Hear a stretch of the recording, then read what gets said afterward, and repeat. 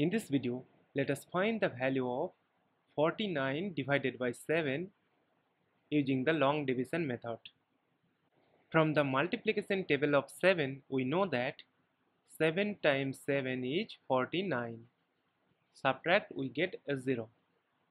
As we have obtained the remainder 0, so we will stop.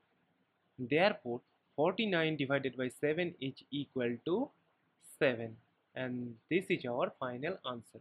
Also look that we can write 49 divided by 7 as 49 by 7.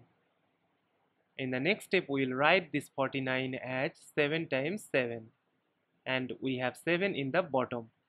Now cancel the common 7 so we are just left with 7.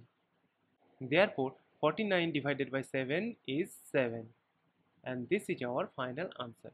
Thank you for watching. Please like, share and comment on the video. Also do subscribe the channel.